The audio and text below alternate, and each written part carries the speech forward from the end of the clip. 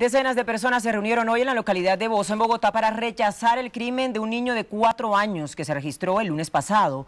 La alcaldesa Clara López aseguró que más que cadena perpetua se necesitan mayor eficiencia de las autoridades para capturar y condenar a los responsables de estos delitos. De acuerdo con Clara López Obregón, con el caso de Santiago Ducuara de cuatro años asesinado esta semana en Bosa, ya son 87 los homicidios de menores de edad en 2011, nueve más que en igual periodo del año pasado.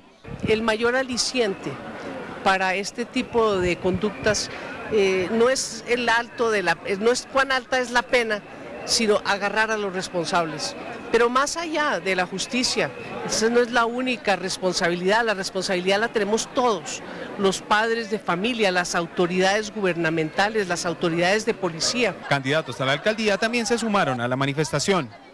Claramente hay una gran impunidad y cuando hay sanciones son demasiado leves. Hay que terminar el clima de inseguridad que se refleja en violencia y que es mucho más dolorosa cuando afecta a la población infantil. Los niños pidieron más medidas para que se acabe la violencia. Que los niños y niñas no es, es injusto que, que, que los estén matando.